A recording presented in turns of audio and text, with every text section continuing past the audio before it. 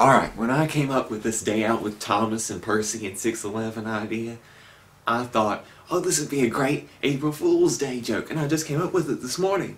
And so I went and I did all this editing and whatever, and then I decided to look at the Strasburg website because I thought they got multiple Day Out with Thomas events.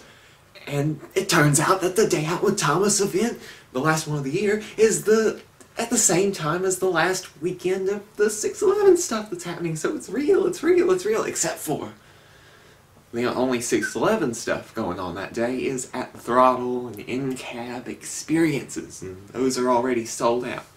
So, if your goal was to drive 611 while riding past Thomas, unless you already bought a ticket, it ain't gonna happen, but I thought I was crazy. But I predicted the future that had already been announced, but I didn't know it. Alright. Please like, comment, and subscribe for more smart stuff like this.